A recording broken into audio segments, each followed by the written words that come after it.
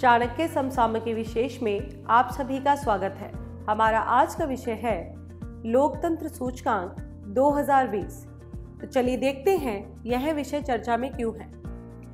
लोकतंत्र सूचकांक 2020 की वैश्विक रैंकिंग में भारत को तिरपनवा स्थान मिला है और यह सूचकांक द इकोनॉमिस्ट इंटेलिजेंस यूनिट द्वारा जारी किया गया है। इस वर्ष इस सूचकांक का शीर्षक democracy in sickness and in health है। तो चलिए देखते हैं इस सूचकांक में भारत की स्थिति क्या रही। द इकोनॉमिस्ट इंटेलिजेंस यूनिट ने कहा है कि भारत में प्राधिकारियों के लोकतांत्रिक मूल्यों से पीछे हटने और नागरिकों की स्वतंत्रता पर कार्रवाई के कारण देश में 2019 की तुलना में 2020 में लोकतांत्रिक की स्थिति, लोकतंत्र की स्थिति खराब हुई है। भारत इस सूची में अपने अधिकतर पड़ोसी देशों से ऊपर है। भारत को 2019 में इसमें 6.9 अंक मिले थे, जो 2020 में घटकर 6.61 हो गए हैं। और विश्व भर में एक देशों में लोकतंत्र की मौजूदा स्थिति के बारे में इस सूचकांक में विस्तार से बताया गया है। भारत की वैश्विक रैंकिंग 2014 में जहाँ 27वें स्थान पर थी, वो इस वर्ष गिरकर तिरपनवें स्थान पर हो गई है। भारत को 2014 में इसमें 7.92 अंक मिले थे और उसे अभी तक के मिले हुए ये सर्वाधिक अंक भी है। ई e की रिपोर्ट में कहा गया है कि भारत और थाईलैंड दो ऐसे देश हैं जहाँ की रैंकिंग इसलिए गिरी है क्योंकि यहाँ प्राधिकारियों ने लोकतांत्रिक मूल्यों से पीछे हटकर कार्य किया और नागरिकों के अधिकारों पर कार्रवाई की। जिससे उनकी स्वतंत्रता का हनन हुआ। इस रिपोर्ट में कुछ मुद्दों को लेकर भारत की आलोचना भी की गई है। जैसे कि इसमें कहा गया है कि भारत की वर्तमान सरकार भारतीय नागरिकता की अवधारणा में धार्मिक तत्वों को शामिल कर रही है। इसे कई आलोचक भारत के धर्मनिरपेक्ष आधार को कमज़ोर करने वाला बता रहे हैं। इस रिपोर्ट में ये भी कहा गया है कि कोविड वायरस वैश्विक महामारी से निपटने के जो तरीके अपनाए गए, उससे 2020 में नागरिकों के अधिकारों का हनन हुआ। और भारत इस सूची में पहले की स्थिति से खराब स्थिति में आ गया। भारत 2019 में इस सूचकांक में इक्यावनवे स्थान पर था। तो चलिए अब देखते हैं इस सूचकांक के आधार पर विश्व की स्थिति। इस सूचकांक में नॉर्वे को शीर्ष स्थान पर रखा गया है और इस सूचकांक में नॉर्वे के बाद आइसलैंड, स्वीडन न्यूजीलैंड और कनाडा शीर्ष पाँच देशों में शामिल हैं।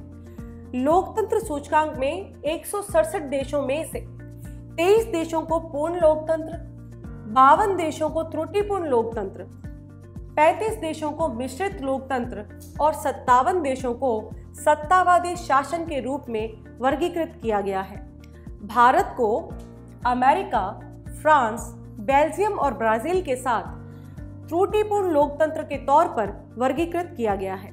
भारत के पड़ोसियों में से श्रीलंका इसमें 68 नंबर पे है, बांग्लादेश छिहत्तरवें स्थान पर है, भूटान चौरासीवें और पाकिस्तान 105वें स्थान पर इस सूचकांक में है। श्रीलंका को इसमें त्रुटिपूर्ण लोकतंत्र की श्रेणी में रखा गया है, जबकि बांग्लादेश, भूटान और पाकिस्तान मिश्रित शासन श्रेणी में आते हैं। अफ़गानिस्तान इस सूचकांक में एक सौ स्थान पर है और उसे सत्तावादी शासन के रूप में वर्गीकृत किया गया है। एशिया और ऑस्ट्रेलिया क्षेत्र के देश न्यूजीलैंड को इस सूचकांक में चौथा स्थान मिला है। लेकिन इसी क्षेत्र के देश उत्तरी कोरिया को अंतिम एक स्थान भी मिला है। एशिया के तीन देश, जापान, दक्षिण कोरिया और ताइवान 2019 की तुलना में इस सूची में ऊपर आ गए हैं और ऑस्ट्रेलिया को भी इसमें पूर्ण लोकतंत्र का दर्जा मिला है। ऑस्ट्रेलिया इस सूचकांक में नौवें स्थान पर भी है। इस सूचकांक में एशिया की स्थिति के बारे में भी बात की गई है। एशिया के बारे में इसमें कहा गया है कि एशिया के ओस क्षेत्रीय अंक में 2013 के बाद सर्वाधिक गिरावट इस वर्ष देखी गई है और इसका कारण कोरोना वायरस महामारी से निपटने के लिए दुनिया भर में जो तरीके अपनाए गए, वो हैं। दुनिया भर में कोविड से निपटने के लिए अपने नागरिकों पर सभी देशों ने पाबंदियाँ लगाई थी। एशिया के तीन देशों का 2020 में पूर्ण लोकतंत्र देशों की श्रेणी में आना और पश्चिमी यूरोप के दो देशों, फ्रांस और पुर्तगाल का इससे बाहर हो जाना, ये बताता है कि कोरोना वायरस ने ताकत के वैश्विक संतुलन के पश्चिम से पूर्व की ओर बदलने की गति तेज कर दी थी। एशियाई देशों ने यूरोपीय देशों की तुलना में कोरोना वायरस से निपटने के लिए अब तक जो तरीके अपनाए हैं, वो यूरोप की तुलना में बेहतर हैं।